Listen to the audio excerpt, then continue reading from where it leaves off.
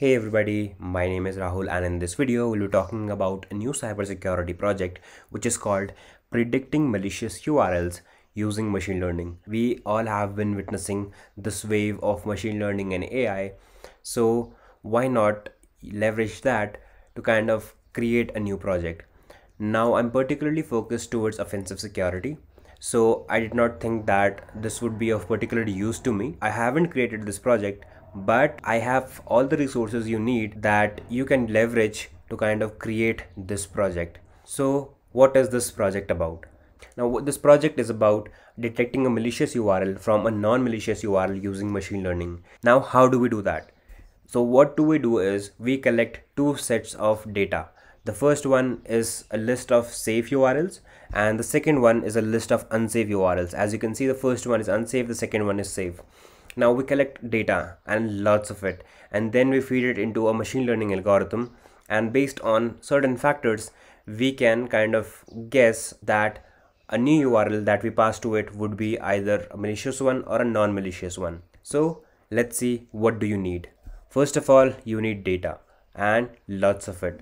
That data would be comprising of two sets. The first one would contain safe urls the second would contain unsafe urls the second thing is that you need an algorithm to analyze the data. What I'll be doing here is, since I did not create this project, I'm referring a Medium article. A big shout out to Faizan Ahmed who created this article. Uh, this is quite old. So the data that I'm going to reference will, would also be quite old.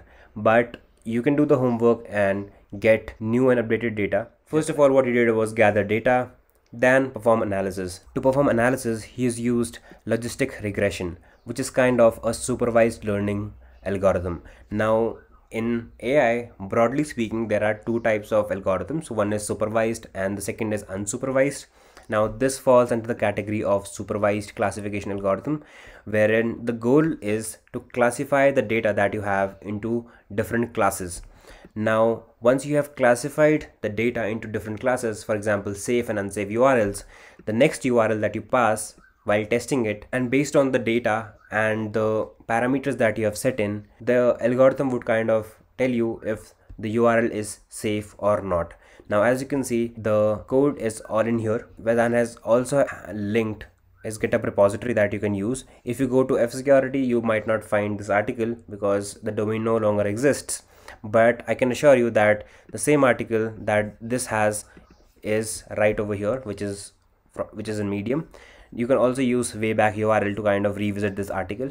Uh, just to give you a brief glance of the test data that Faizan used as you can see it has a lot of IP addresses as you can see this which are prone to be malicious in nature uh, hosting bad domains. So how do you get good data? So I think the data containing good URLs is already in the data.csv file but for malicious URLs what you can do is you can use threat intelligence tools to kind of get or fetch all the domains that are known to contain malicious payloads. So I hope this was of some use to you.